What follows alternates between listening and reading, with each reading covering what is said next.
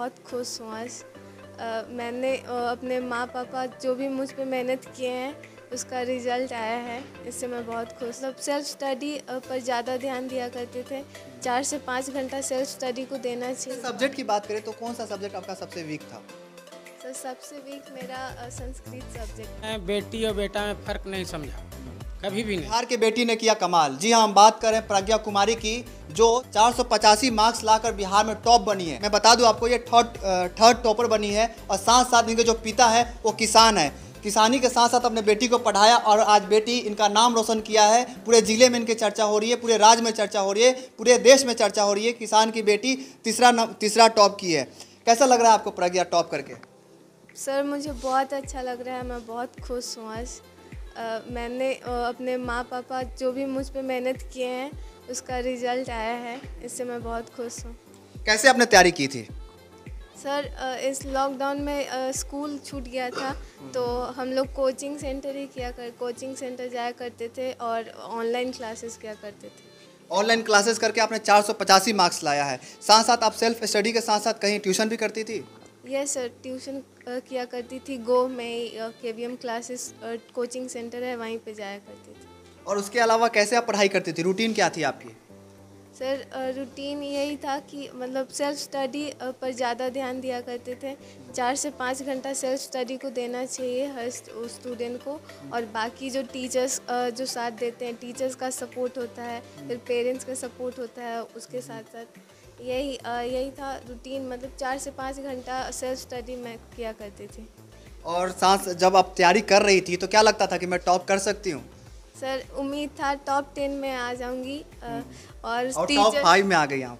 Yes बहुत बहुत बधाई आपको। थैंक यू सर टीचर्स बोल बोलते थे टॉप थर्ड में आ जाओगी। अच्छा टीचर्स पहले ही बता दिया इनके इनके पिता है मेरे साथ है। कैसा लग रहा है आपकी बेटी टॉप की है? मुझे बहुत खुशी हो रही है। हाँ, अपार खुश हर्ष के साथ मैं कह रहा हूँ कह रहा हूँ कि मेरी बेटी टॉप थर्ड आपने में बताया कि का। हाँ, आपने बताया कि आप किसानी करते हैं कृषि जी, हैं। जी। कैसे आप इतने अच्छे ट्यूशन में पढ़ाया आप अपने बच्ची को? सर मैं शुरू से शिक्षा के प्रति बहुत जागरूक रहा हूँ और मुझे तमन्ना था कि मैं अपने बाल बच्चों को अपने बेटी बेटा को अच्छा जहाँ एजुकेशन का व्यवस्था हो वहाँ पढ़ाऊँ। और मुझे ज़रिया मिल गया कोई दोस्त के नाते या इन लोग अपने भी प्रयास किया। इन लोग जहाँ पढ़ती थी वहाँ के टीचर थे। और वो गाइडलाइन किए कि के वी एम क्लास में तुम कोचिंग करो मैंने ट्यूशन करो। और उसके माध्यम से इन लोग बोली मैं उसको कोऑपरेट किया अपने स्तर से। बहुत बड़ी बात कह रहे हैं बहुत लोग अभी भी बेटी को नीचा समझते हैं कहीं ना कहीं बेटा के मुकाबले। नहीं मैं बेटी और बेटा में फ़र्क नहीं समझा। कभी भी नहीं। और आने वाला पीढ़ी को भी मैं यदि ज़िंदा रहूँगा कोशिश रखूँगा कि जिस तरह से मेरे बेटा बेटी आगे बढ़े हैं पौत्र पौत्री भी आगे बढ़े। जी हाँ देख सकते हैं आप जो कहते हैं बेटियाँ पीछे से उनके लिए देख लीजिए एग्ज़ाम्पल है। इनकी माँ है मेरे साथ। कैसा लग रहा है आपकी बेटी टॉप की है? अपार खुशी हो रही है। बहुत खुशी हो रही है। और कितने घंटे पढ़ती थी आपकी बेटी? चार पाँच घंटे। मतलब जब इसका इच्छा होता था तब अपना पढ़ाई में ही ध्यान कैसे सेवा देती थी अपने बच्चों को? क्या क्या खिलाती थी ये बताइए। सब चीज़ जो हम लोग को उपलब्ध है। दूध मलाई सब्ज़ी। जो हम लोग कहती है सब चीज़ पूरा करते हैं इन लोग को। बेटी आपका कहीं ना कहीं रोशन किया है नाम रोशन किया है बहुत चर्चाएँ हो रही है। जी हाँ। अभी प्रज्ञा है मेरे साथ। प्रज्ञा बताइए आपने टॉप कर लिया है आगे क्या करना चाहती है आप?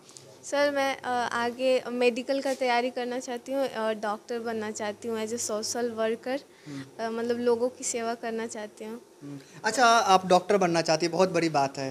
और आप बने मेरे तरफ़ से अग्रिम बधाई आपको। और जो बच्चे टॉप नहीं किए हैं उनका सपना था कहीं ना कहीं मैं टॉप करूँ। उनके लिए क्या कहना चाहती हैं आप? उनके लिए बोलना चाहती हूँ कि सेल्फ कॉन्फिडेंट रखना चाहिए। अभी जो मेहनत किए हैं उसी मेहनत को लगातार जारी रखें। आगे उन लोग को ज़रूर सक्सेस मिलेगा अपने लाइफ में। अगर अपने ऊपर विश्वास रहेगा तो ज़रूर वो लोग भी सक्सेस बिहार बोर्ड टॉप करना कितना मुश्किल है? सर बिहार बोर्ड या फिर कोई भी बोर्ड टॉप करना मुश्किल मतलब मेहनत पे डिपेंड करता है। अगर आप उसके अकॉर्डिंग मेहनत करते हो तो किसी भी बोर्ड हो बिहार हो या फिर कोई भी बोर्ड हो तो आप उसमें अच्छा सब्जेक्ट की बात करें तो कौन सा सब्जेक्ट आपका सबसे वीक था? सर सबसे वीक मेरा संस्कृत सब्जेक्ट था। अच्छा कैसे प्रिपरेशन किया आपने? सर और टीचर्स के हेल्प से अ, मैंने संस्कृत सब्जेक्ट को होल्ड किया उसमें स्कोर किया अच्छा। स्ट्रॉन्ग की बात करी करें तो? स्ट्रॉन्ग की बात करें तो मेरा एस और मैथ्स अरे वाह कितना मार्क्स आए उसमें आपके? दोनों में 99 परसेंट अरे वाह बहुत बहुत बहुत बहुत बधाई आपको। Thank you sir